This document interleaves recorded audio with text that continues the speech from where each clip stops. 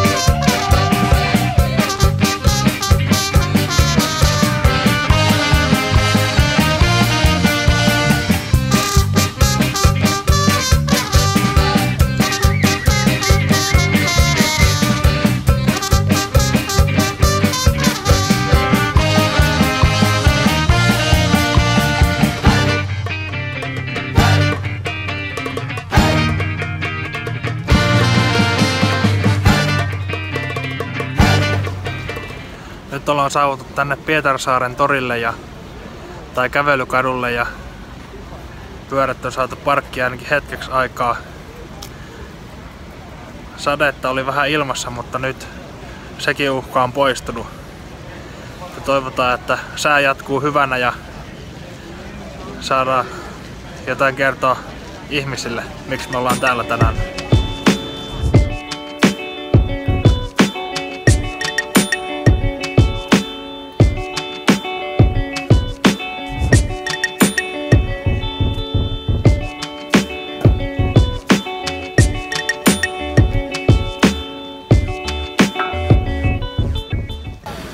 Toiminut tässä Cosper Ridersissa lähes 30 vuotta.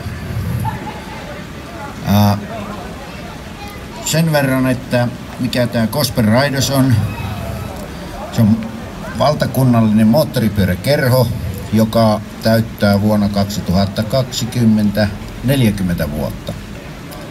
Eli aika iäkäs kerho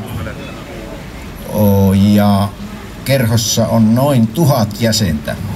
Ja niin kuin sanottu, että ympäri Suomea on moottoripyöräkerho, joilla on arvot, kristilliset arvot. Eli toisin sanoen me uskotaan Jeesuksen lunastustyöhön.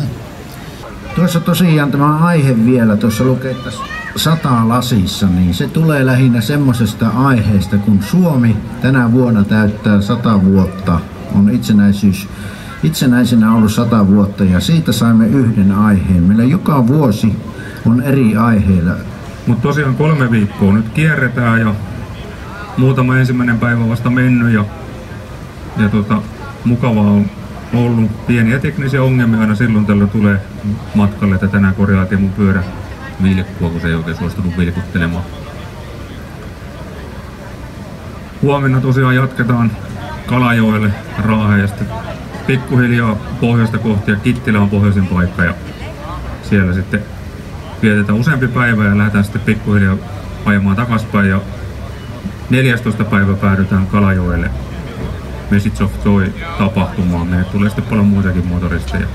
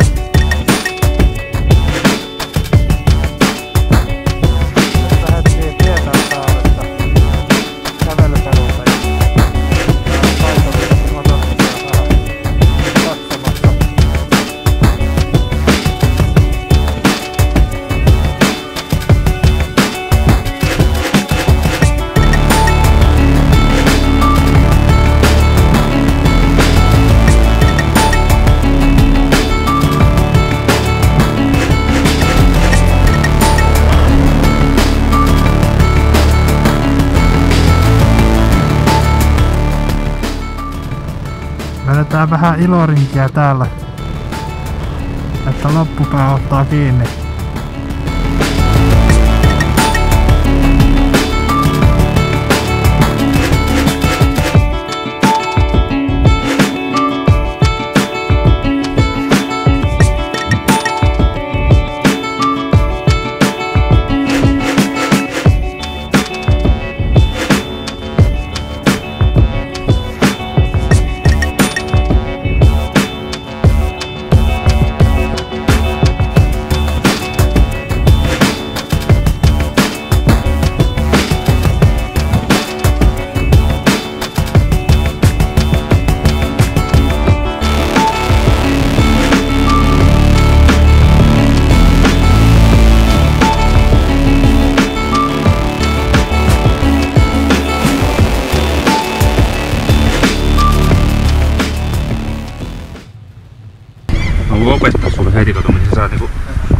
Aina kannattaa laittaa siis on näille pisti. Tää, ristikkonuotio on kaikkein, siis se on, sanotaanko näin, että se on niin sanottu idioottivarma nuotio.